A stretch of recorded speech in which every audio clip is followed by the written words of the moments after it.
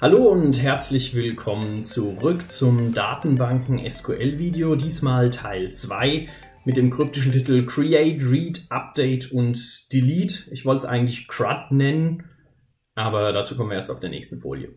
Ähm, auch diesmal gilt, diese Videoreihe gehört irgendwie zum Informatikunterricht Q2 an der St. Ursula Schule in Geisenheim, sollte aber auch für jeden anderen, der sich für Datenbankabfragen interessiert, passend sein. Heute nach all den Vorarbeiten des letzten Videos werden wir mal wirklich was in der Datenbank machen. Es wird also im Gegensatz zum vorherigen nicht mehr theoretisch, sondern extrem praktisch. Wir werden unsere Datenbank, die Terra-Datenbank, äh, hier unten zum Download, wir werden die bearbeiten, wir werden drin lesen, wir werden Abfragen starten, wir werden Wissen gewinnen.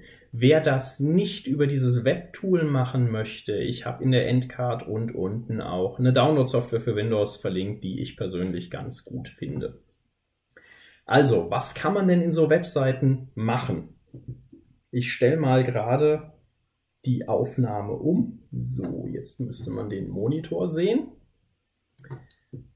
Was kann man machen? Prinzipiell hinter diesem CRUD, C-R-U-D, verbergen sich vier Operationen, die man eigentlich auf allen Arten von Daten machen kann, deswegen auch auf einer Datenbank. Und das ist einmal Create. Ich kann Datenstrukturen erzeugen, also Tabellen zum Beispiel für eine neue Entitätsklasse, die hinzugekommen ist. Damit werden wir uns in diesem Video nicht befassen. Erstens kann das jeder selbst nachlesen. Ich habe hier also mal Beispiel, beispielhaft den SQL-Befehl, das ist nämlich so eine Art Programmiersprache, den Befehl aufgeschrieben. Aber da man das erstens sehr selten macht und meistens Datenbanken auf andere Weise erzeugt werden und gar nicht selbst mit SQL-Befehlen vom Benutzer aus, und außerdem jedes Datenbankmanagementsystem da ein bisschen pingelig ist und das muss mal anders formuliert werden und das muss mal anders formuliert werden und der Befehl funktioniert hier nicht. Deswegen behandeln wir das nicht. Wer will, kann das gerne nachlesen. Ich habe sowohl in der Endcard als auch in der Videobeschreibung, ich wiederhole mich gerade ein bisschen, ähm, ein Tutorial verlinkt für SQLite. Dem sind alle Befehle, alle Details en Detail beschrieben. Jeder, der das vertiefen will, äh, Design bitte auf das Tutorial verwiesen. Ich werde auch jeweils hinter diesem Videoteil und hinter dem dritten Videoteil so ein paar Aufgaben, mit denen man sich selbst beschäftigen kann, ähm, veröffentlichen. Für einige dieser Aufgaben reicht das Wissen, das ich hier in den Videos von mir gebe, das hier aus mir heraussprudelt, nicht aus. Da gehört also ein bisschen Recherche, ein bisschen Vertiefen und gerade dieses SQLite-Tutorial ist ein echt guter Startpunkt für eine Recherche. Neben dem Erzeugen von neuen Entitätsklassen kann man auch mit dem, was man schon hat in der Datenbank, Dinge anfangen. Und der wichtigste Befehl und der wahrscheinlich am häufigsten Befehl, genutzte Befehl ist der zum Lesen von Daten. Liebe Datenbank, ich möchte gerne etwas von dem, was du gespeichert hast, wissen. Und das ist der Select-Befehl. Auch hier zeige ich den Code an. Wir machen das aber gleich live. Das heißt, ich setze mich an unseren Online SQLite Datenbank-Browser und wir machen mal ein paar von den Select-Abfragen, dann verstehen wir auch, wie dieser Befehl funktioniert und was der alles kann. Neben, liebe Datenbank, ich möchte Daten von dir kennenlernen, gibt es auch den Update-Befehl. Liebe Datenbank, ich würde gerne etwas verändern. Zum Beispiel, hm, jemand hat einen neuen Namen. Jemand hat seinen Namen geändert. Und es gibt eine Entität Person und die hat ein Feld Vorname und ein Feld Nachname. Also wir haben die Attribute genannt, ein Attribut Vorname und ein Attribut Nachname. Und der Nachname hat sich geändert, aus welchen Gründen auch immer. Da lösche ich ja nicht die ganze Person raus und erzeuge die neu, sondern ich verändere die. Dafür gibt es den Update-Befehl. Auch mit dem werden wir uns auseinandersetzen live. Und zu guter Letzt, wenn man erzeugen, lesen und verändern kann, dann muss man auch löschen können. Es gibt auch den Delete-Befehl mit dem man Entitäten, also einzelne Einträge in Entitätstypen, Tabellen, wieder löschen kann. Das ist der Delete-Befehl. Auch den werden wir uns live anschauen. Zuallererst werden wir aber mal einen Blick auf diese Terra-Datenbank werfen. Die ist ziemlich groß und komplex, aber es gibt ein paar Aspekte, die ich gerne besprochen hätte und für die werde ich jetzt ein Entity Relationship Diagram aufzeichnen, also einen Ausschnitt aus der Datenbank. Ähm, das passiert vom Whiteboard. Ich versuche das jetzt mal während des Videos live umzustellen. Wir werden mal schauen, wie gut es funktioniert.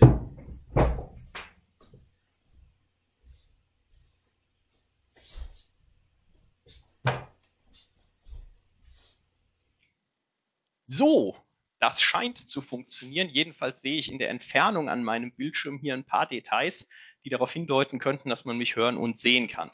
Also, wie sieht denn unsere Datenbank aus? Unsere Datenbank hat ganz, ganz viele Entitätstypen. Relevant für den weiteren Fortgang dieses Videos sind aber erstmal nur vier davon. Und wir fangen mit der einfachsten an, das ist die Information zu Bergen. Es gibt Informationen zu Bergen. Das heißt, ich habe hier einen Entitätstyp Berg. Und dieser Entitätstyp hat, wie wir gelernt haben, Eigenschaften. Der hat zum Beispiel einen Primärschlüssel namens ID. Neben dem Primärschlüssel ID haben Berge auch Namen. Hat einen Namen. Ein Berg gehört zu einem Gebirge. Ein Berg hat außerdem eine Höhe. H-O-E-H-E. Umlaute wollen wir da nicht. Ein Berg hat außerdem ein Jahr der Erstbesteigung, sofern bekannt. Und ein Berg liegt irgendwo und da gibt es einen Längengrad, der heißt Länge und einen Breitengrad, der heißt Breite. Für den Entitätstyp Berg gibt es in der Datenbank zwar einige Relationen, die sind aber für das Video nicht relevant. Spannender sind die Relationen zwischen Kontinenten, Ländern und Städten. Ein Kontinent, Kontinent, ich kann schon fast nicht mehr schreiben, ein Kontinent hat eine ID, das ist der Primärschlüssel, ein Kontinent hat einen Namen. Und ein Kontinent hat eine Fläche. Auch mit AE geschrieben mit AE geschrieben und nicht eckig, sondern natürlich ist es ein Attribut. Das Video scheint ein wenig hinterher zu laggen. Ich hoffe, man kann es trotzdem verstehen. Ähm, außer den Kontinenten gibt es noch Länder. Und ein Land hat ganz, ganz, ganz, ganz, ganz viele Dinge. Relevant für uns, ein Land hat eine ID, das ist der Primärschlüssel. Ein Land hat einen Namen. Name. Jetzt muss ich spicken. Ein Land hat eine Abkürzung. Abkürzung, weil wir das nicht haben wollen. Und die ist wichtig, denn die ist eindeutig für ein Land. Ein Land hat außerdem noch eine Hauptstadt. Für Deutschland wäre das Berlin und diese Hauptstadt liegt auch in einem Landesteil. Das wäre lustigerweise auch wieder Berlin. Ähm, ein Land hat auch eine Fläche, eine Fläche und ein Land hat eine Einwohnerzahl. Einwohner. Und zwischen Ländern und Kontinenten gibt es eine Relation. Und zwar umfasst ein Kontinent Länder. Und das ist eine M zu N Relation. Wir erinnern uns aus dem Unterricht oh mein Gott, für diese Relation müssen wir eine extra Tabelle anschaffen, die irgendwie die Primärschlüssel miteinander verbindet. Leider ist es in dieser Datenbank nicht so, dass die Primärschlüssel drin sind, sondern die Umfasst-Tabelle mappt Namen von Kontinenten auf Abkürzungen von Ländern. Das ist historisch bedingt und das ist definitiv eine Schwäche dieser Datenbank, die in der Zukunft mal ausgemerzt werden sollte. Warum ist es eine M zu N Beziehung? Das würde ja bedeuten, dass auf M Kontinenten N Länder sein könnten. Jo, also dass auf einem Kontinent mehrere Länder sind, da sind wir uns einig. Aber Länder, die auf mehreren Kontinenten sind, ach ja, stimmt. Russland. Russland finden wir in Europa und Asien und deswegen brauchen wir hier eine M zu N Relation. So, Neben Ländern gibt es auch noch Städte. Dafür haben wir die Tabelle Stadt.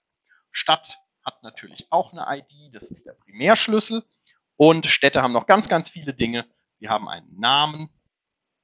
Städte gehören zu einem Land. Das ist ein Fremdschlüssel. Das heißt, dieses Land hier in Stadt mappt irgendwie zu der Abkürzung eines Landes dort drüben. Die haben natürlich auch noch Landteile und weiß Gott was alles, aber relevant ist eigentlich nur noch, dass sie auch Einwohner haben.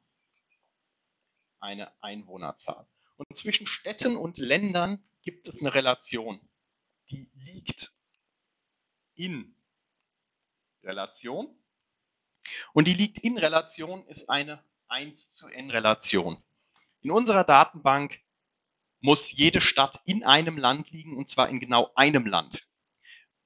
Das hindert aber Länder nicht daran, dass es mehrere Städte in Ländern gibt.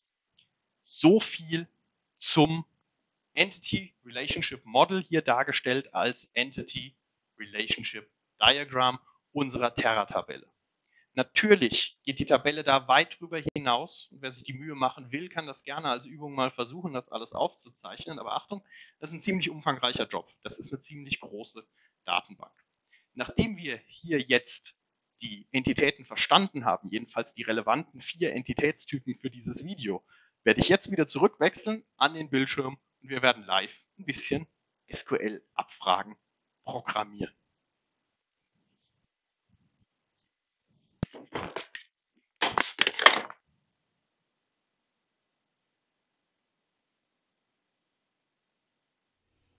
So, und da bin ich wieder am Monitor. Ich hoffe, dass mit der Verzögerung beim Video eben war nicht allzu katastrophal. Und wie das letzte Mal beschrieben, bin ich schon im Browser. Ich habe schon die Datenbank geladen in die Webseite. Das habe ich alles im letzten Video gezeigt. Man sieht hier drüben all die Tabellen, insbesondere die, die ich schon vorgestellt habe. Also, wo haben wir denn die Kontinente? Äh, hier haben wir die Tabelle für die Kontinente und die kann ich mir auch anzeigen lassen, wenn ich rechtsklick und Select Show Table mache. Wie das intern funktioniert, gleich mehr. Und dann lädt er die und dann sehe ich, ich habe Kontinente, Afrika, Asien, Australien, Amerika, Nordamerika, Südamerika, die Antarktis und Europa und ich habe auch entsprechende Flächenmaße dazu. So weit, so gut. Befassen wir uns mal mit dem ersten, na genau genommen dem zweiten Teil, weil das Create haben wir ja weggelassen, dem Read.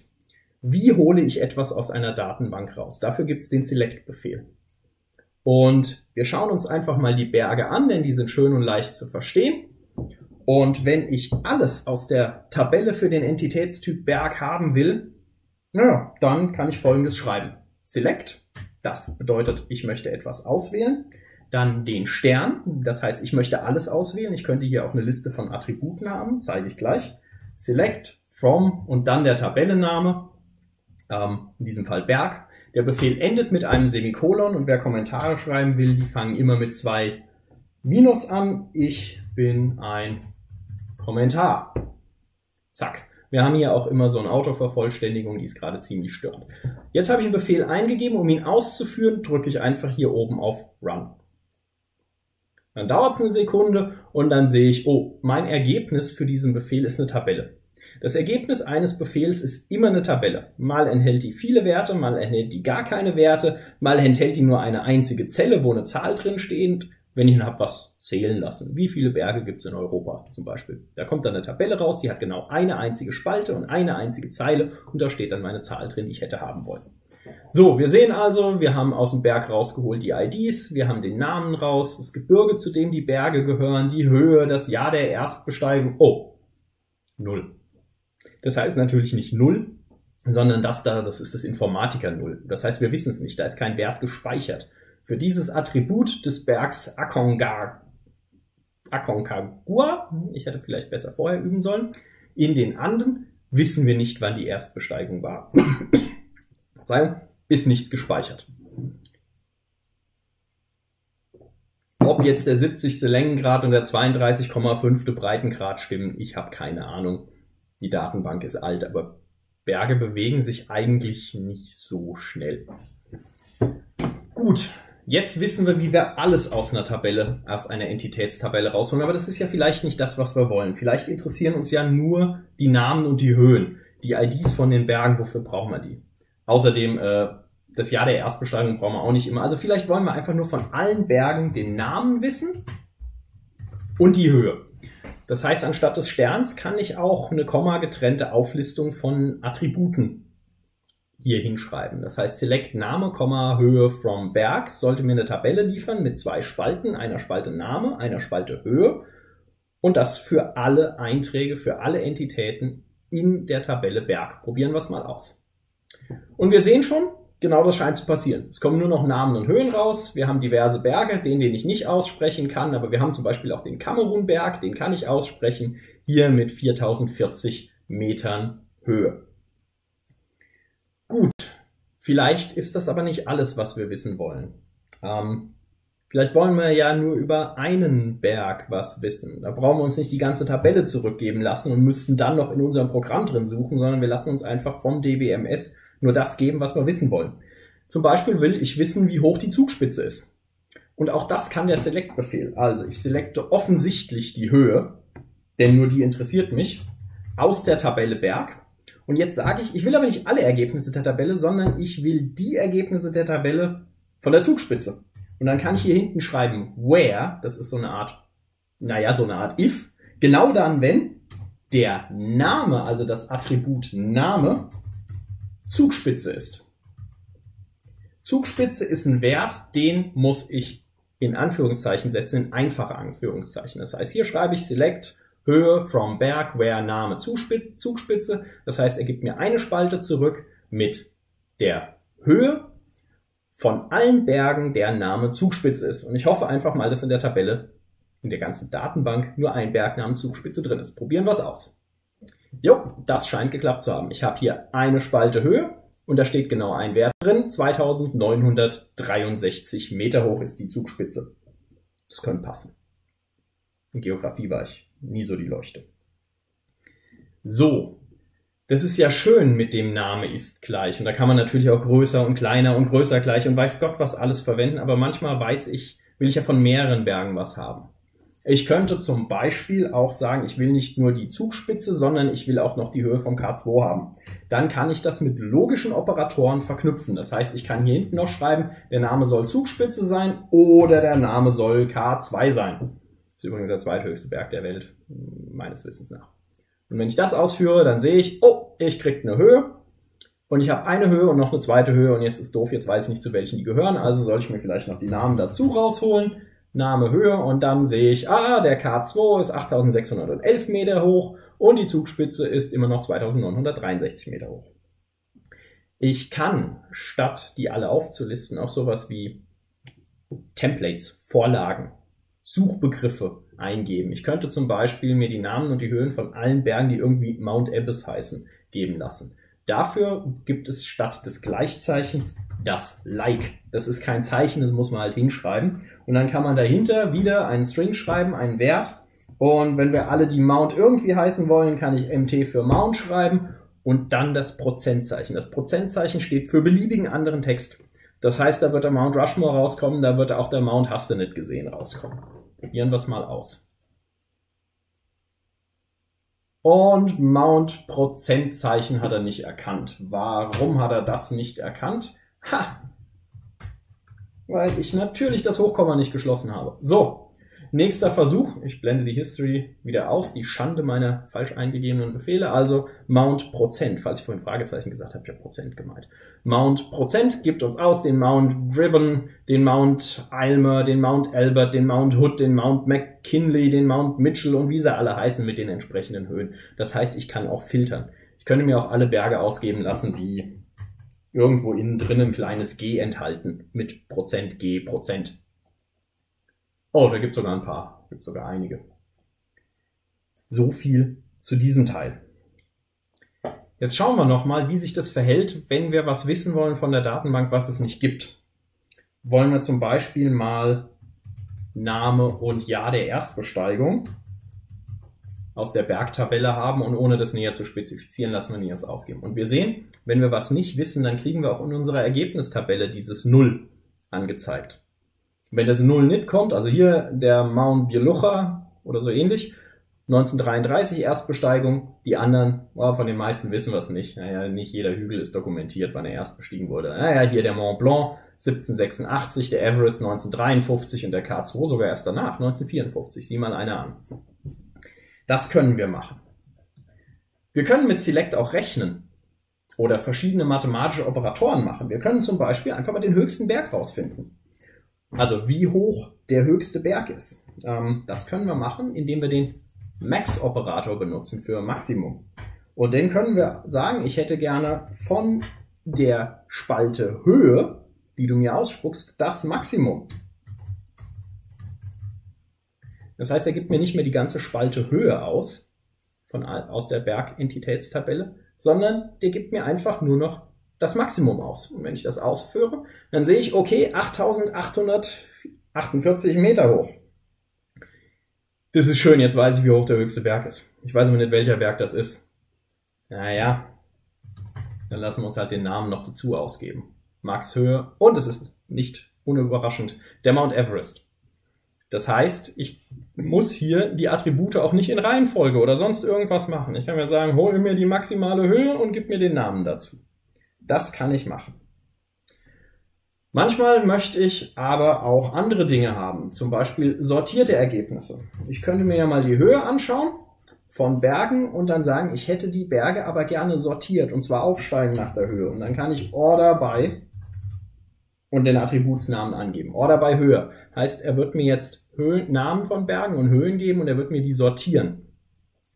Und sieh mal einer an. Wir haben den Berg Elbrus mit der Höhe 0, das ist bestimmt ein Fehler, der ist da auch nicht ganz unabsichtlich drin. Dann haben wir den Feldberg als äh, kleinsten Berg in dieser Datenbank, neben dem Elbrus, mit 1277 Metern. Und dann sehen wir, es ist immer aufsteigend und am Ende werden wohl Everest und K2 sein. Genau, der Everest mit 88, 48 und der K2 mit 86, 11. Das heißt, dieses Order by kann ich hinten dranhängen, so ähnlich wie das Where. Ich kann das natürlich auch alles miteinander kombinieren. Gut, was habe ich mir noch aufgeschrieben? Ach ja, der Elbrus ist falsch. Das ist doof. Also offensichtlich ist der nicht 0 Meter hoch, sondern jeder von uns weiß, dass er 5642 Meter hoch ist. Wäre jetzt mal an der Zeit, äh, diese Datenbank zu aktualisieren. Und dafür haben wir den Update-Befehl gelernt. Damit kann ich mehrere oder einzelne Einträge einer Datenbank verändern. Und er geht folgendermaßen. Ich möchte updaten. Und zwar möchte ich die Tabelle oder den Entitätstyp Berg updaten. Und ich möchte die Höhe ändern in einer Entität oder in mehreren Entitäten. Und zwar möchte ich die auf, was habe ich gesagt, 5642 Meter ändern. Und zwar nicht überall. Nicht bei jedem Berg, sondern, da kommt wieder unser Where rein, nur dort, wo mein Suchfilter, also wo mein Where passt. Und das wäre in diesem Fall genau dort, wo der Name des Berges Elbrus ist. Und auch den Befehl kann ich starten. Und wenn ich mich nicht vertippt hätte, kann ich den Befehl starten. Und ich sehe, ich kriege gar kein Ergebnis. Kein Ergebnis und keine Fehlermeldung ist gut. Das ist das Unix-Prinzip. No news is good news. Wenn ich mich nicht beschwere, dann hat schon geklappt, was du wolltest. Wie kriegen wir jetzt mit, ob der Update-Befehl wirklich funktioniert hat? Weil ich kann das ja hier behaupten. Naja, wir holen uns den mal wieder raus. Ne? Wir selecten mal Stern aus der Bergtabelle, genau dort, wo der Name des Bergs Elbrus ist. Und sieh mal einer an, da haben wir ihn. Elbrus im Kaukasusgebirge, Höhe 5642 Meter und nicht mehr 0 Meter. Wie praktisch, ne? Also, jetzt haben wir unsere Datenbank verändert. Und zwar persistent. Das muss man sich vielleicht auch merken. Wenn man was in Datenbanken macht, passiert das immer sofort und das wird auch gespeichert. Direkt. Ein DBMS speichert das direkt. Hier, wo wir es übers Web verwenden, speichert er das irgendwo hin. Wenn wir das später noch haben wollen, kann man einfach über File Save DB sich die Datenbankdatei wieder von der Webseite runterladen. So, jetzt haben wir was aktualisiert also Update gemacht. Jetzt müssen wir auch noch was einfügen. Es fehlt ein Berg in dieser Tabelle. Ich weiß nicht, ob man es gemerkt hat, aber es fehlt offensichtlich die Hallgarter Zange. Ich kann jetzt mal schauen. Like Hall Prozent. Warum habe ich doppelte Anführungszeichen genommen? Naja, würde auch gehen bei SQLite, aber nicht immer. Schauen wir mal, alle Berge, die mit Hall anfangen, gibt es keine. Ups. Gut, dann müssen wir die Hallgarter Zange mal hinzufügen. Ne? Ähm, das geht mit dem Insert-Befehl. Insert into, wohin? In die Tabelle mit den Bergen, inter, into Berg. Und dann muss ich dahinter in Klammern schreiben, welche Attribute ich jetzt einfügen möchte. Also ich füge eine neue Zeile in die Tabelle ein, aber ich muss nicht alle Attribute einfügen. Zum Beispiel die ID. Das ist ein Primärschlüssel und den habe ich in der Tabelle so eingestellt, dass der automatisch erzeugt wird.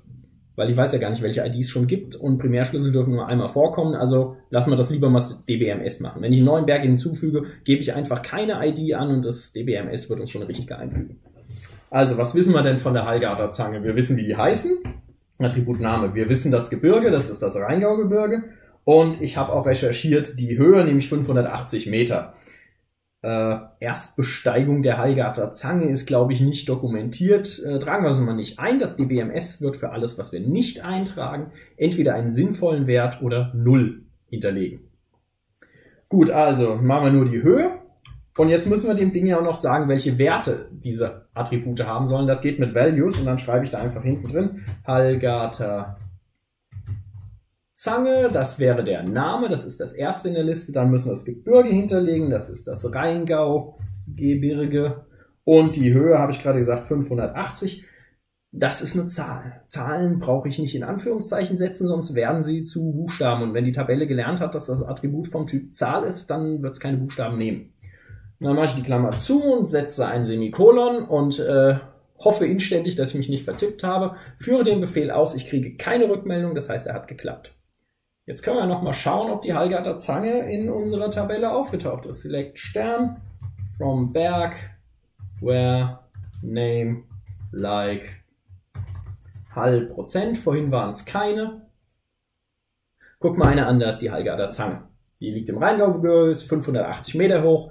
Ja ist null, also Erstbesteigung unbekannt. Längen- und Breitengrad ist auch unbekannt, aber es ist in unserer Tabelle drin. Wunderbar. Jetzt haben wir also auch gelernt, wie man Dinge neu einfügt. Jetzt geht es noch darum, Dinge zu löschen. Wir löschen mal einen Berg, ne? Wäre praktisch. Ähm, Moment, jetzt muss ich mal in meine Spickzettel schauen. Wir löschen mal einen Berg und zwar löschen wir die Hallgarter Zange wieder, weil mal ganz ehrlich, mit 580 Meter, das ist ein Hubbel und kein Berg. Dafür gibt es den Delete-Befehl. Delete from aus der Tabelle Berg möchte ich etwas löschen und dann wieder ganz normalen Where-Befehl. Ich könnte auch bei dem Where-Befehl, ich muss da ja nicht nur einen rausfiltern, ich könnte ja auch alle Berge löschen, die mit A anfangen. Zum Beispiel. Ich möchte aber in diesem Fall nur die Hallgarter Zange löschen. Hallgarter Zange und die hat ein großes H vorne und das werde ich ihr auch gönnen. Und wenn ich das ausführe, kriege keine Rückmeldung, das heißt, es hat geklappt. Ich hole mir nochmal, ich versuche nochmal die Hallgarter Zange rauszuholen. Select Stern from Berg, where name. Wir machen es wieder über Like, das lässt sich schneller tippen. Und sieh an, keine Hallgarter Zange mehr in der Tabelle. Wir können jetzt sagen, okay, wenn wir Hubbel eh nicht drin haben wollen, na dann löschen wir doch mal alle Berge, die irgendwie kleiner sind als 2000 Meter. Delete from Berg, where Höhe kleiner 2000 Meter. Das sind keine Berge, das sind nur Erhebungen, die schmeißen wir aus der Tabelle raus. Zack, wir kriegen wieder keine Rückmeldung. Jetzt können wir mal schauen, ob wir noch welche drin haben. Select Stern vorm Berg. Wer Höhe kleiner 2000 sollten jetzt keine Ergebnisse kommen. Kommen noch keine. Schauen wir mal, ob wir mit 2500 welche haben. Sieh mal eine an, da haben wir welche. Das ist der ganze Trick mit dem CRUD. Create, Read, Update und Delete. Dafür haben wir jetzt die Befehle gelernt. Was man dahinter bei where anstatt des Gleichzeichens und end und or schreiben kann und das or dabei, das findet sich alles in der Dokumentation von SQLite, die ist verlinkt. Ich habe aber an dieser Stelle schon mal ein paar Aufgaben mitgebracht, mit denen man sich beschäftigen kann. Nachteil meiner Schüler, die das Video sehen, ihr müsst euch damit beschäftigen. Ähm, die sind alle mit dem Wissen aus dem bisherigen Video zu lösen. Das heißt, wir haben einmal so, ja, mal den Befehl rausfinden, um alle deutschen Städte mit mehr als einer Million Einwohner rauszufinden. Oder alle Städte, deren Namen ein kleines Y enthalten. Oder alle Berge, die höher sind als 3000 Meter. Da gibt's immer einen Befehl für. Die Stadt in Deutschland mit den meisten Einwohnern. Oder alle Flüsse, die mit W beginnen und mindestens 1,5 Kilometer lang sind. Ja, die Einwohnerzahl Geisenheims ist bestimmt auch was Interessantes. Mein persönlicher Liebling, findet doch mal heraus, ob es Bielefeld gibt. Da gibt's mehrere Möglichkeiten, das aus der Datenbank herauszufinden. Ähm, jede ist mir recht. Dann die eigene Heimatgemeinde bitte der Datenbank hinzufügen. Die Wahrscheinlichkeit ist hoch, dass sie noch nicht drin ist. Berlin, da sind ein paar Leute hingezogen, seitdem die Datenbank das letzte Mal aktualisiert wurde. Bitte mal die Einwohnerzahl Berlins aktualisieren. Es sind jetzt 3.644.826 Einwohner. Und zum letzten Spaß, was Destruktives, mal alle Inseln löschen. So, ich glaube, das sind genug Aufgaben, da kann man sich eine Zeit mit beschäftigen. Ich verabschiede mich aus diesem zweiten Video, diesmal hoffentlich mit besser abgemischtem Ton und werde jetzt gleich noch das dritte Video aufnehmen, äh, vielleicht auch mal mit Licht. An dieser Stelle sage ich herzlichen Dank. Vielen Dank fürs dabei gewesen sein. Äh, viel Spaß mit den Aufgaben und wir sehen uns im nächsten Video wieder.